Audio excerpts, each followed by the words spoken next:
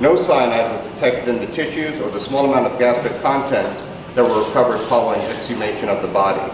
Cyanide has a short half-life and it may be lost over the post-mortem interval unless the tissues are adequately preserved.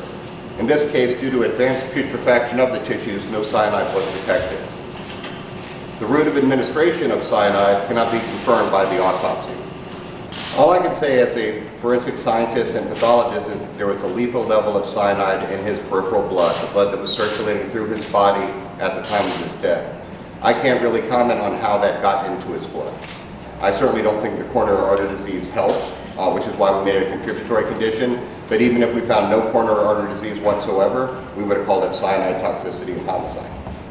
We uh, had already called it a homicide due to cyanide toxicity based on peripheral blood from the uh, external examination. So it was a lethal level then and it's still lethal. One more question.